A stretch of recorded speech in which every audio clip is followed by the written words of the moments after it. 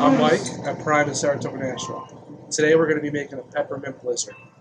So what I'm going to do is take two ounces Godiva white chocolate over ice. We're going to do an ounce and a half of Marie Brizard white mint right on top. We're going to shake thoroughly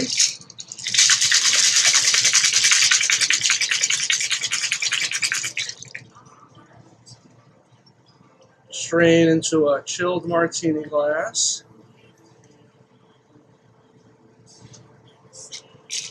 Top it with some shaved coconut